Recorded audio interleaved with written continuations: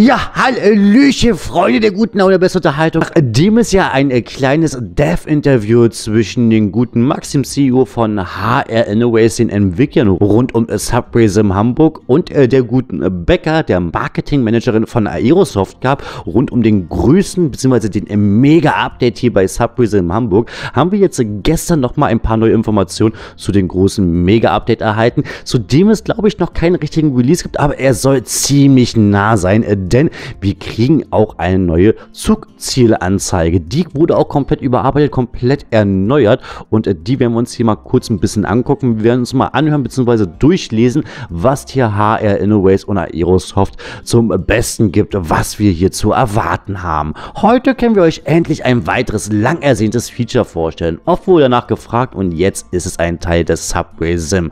Was gemeint ist, die Zugzielanzeige des DT5.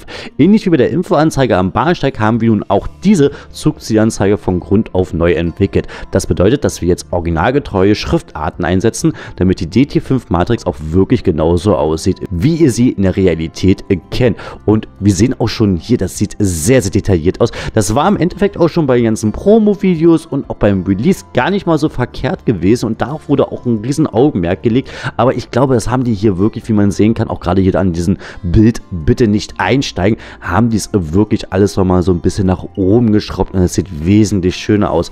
Was aber jetzt das allerbeste daran ist, wir kriegen auch sechs neue Schriftarten. Genau so wie bei den Infoanzeigen am Bahnsteig wird das Zugziel auch bei der Matrix des DT5 möglichst füllend angezeigt. Sehen wir hier, da ist jetzt nichts mehr in die Mitte gedrängt oder so, ist komplett von links nach rechts zur Mitte überall total voll belegt. Bei den Infoanzeigen verändert sich aus diesem Grunde der Abstand zwischen den Zeichen, um die Breite der Anzeige möglichst voll auszunutzen. Nichts zum beim DT5, denn hier gibt es insgesamt fünf verschiedene Schriftarten mit unterschiedlichen Breiten, Höhen und Schriftdicken.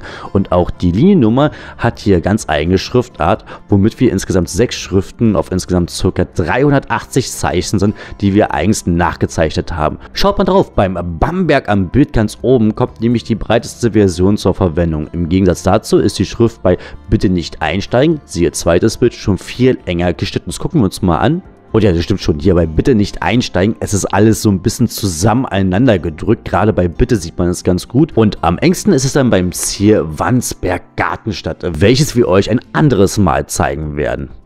Übrigens, über das Drive Machine Interface DMI, das CT5 am rechten Bildschirm, könnt ihr auch jedes beliebige Station als Ziel schildern. Es steht euch jede Station in Hamburg zur Auswahl, ganz egal ob von der U3 oder von anderen U-Bahn-Linien. Zusätzlich gibt es noch eine Liste von etwa 10 Sonderzeichen wie Probefahrt, Fahrschule, Jazztrain oder www.hochbahn.de. Oh, und eins noch, die Zugziehanzeige hat es tatsächlich einen Effekt auf die Fahrgäste. Während wir beim Jazztrain mit Fahrgästwechsel weiterfahren können, werden die Fahrgäste bei einem Fahrschulzug nicht einsteigen. Oh, das ist natürlich ganz cool. Okay, das werden wir uns später alles mal angucken, wenn das große Mega-Update kommen wird. Irgendwann soll es aber auch mal soweit sein.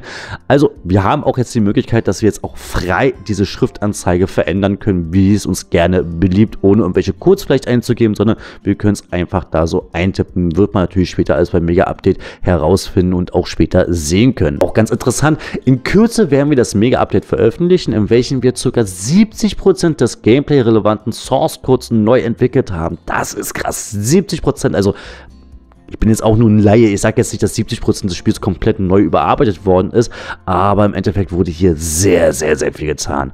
Dazu haben wir alle Kernsysteme des Spiels von Grund auf erneuert, um euch bestmöglichen Spielspaß bieten zu können. Wir kommen weiterhin sehr gut mit der Entwicklung voran und, und hoffen, das Update sehr bald in eine öffentliche Beta-Phase schicken zu können. Aber bleibt gespannt, wir halten euch auf den Laufenden.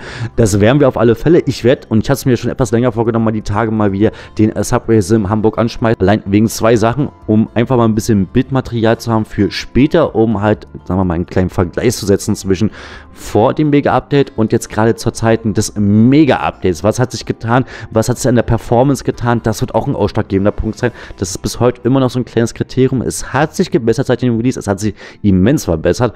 Aber nichtsdestotrotz muss sich da auch ein bisschen hoffentlich dann was getan haben. Und zum anderen wollen wir das Ganze mal mit der VR probieren. Also da werdet ihr wahrscheinlich in den nächsten Tagen auch mal dazu wieder ein Video sehen. Aber ich finde es ganz schön, dass man, wie gesagt, so offen mit der Entwicklung beziehungsweise auch mit dem Mega-Update offen geht, weil so erhält man wirklich die Überraschung, man, man schürt sie auf alle Fälle noch wesentlich mehr und die Leute fühlen sich einfach nicht allzu sehr vernachlässigt. Und ich denke mal, dass es da den manchen auch da so ein bisschen dankt. Und ich denke mal, dass es halt auch wirklich den Zugfans äh, dankend entgegenkommt.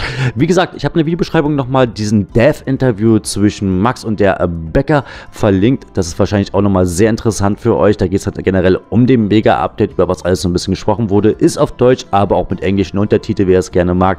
Freunde, wir sehen und hören uns. Lasst mich gerne mal wissen, was ihr von dem Mega-Update haltet.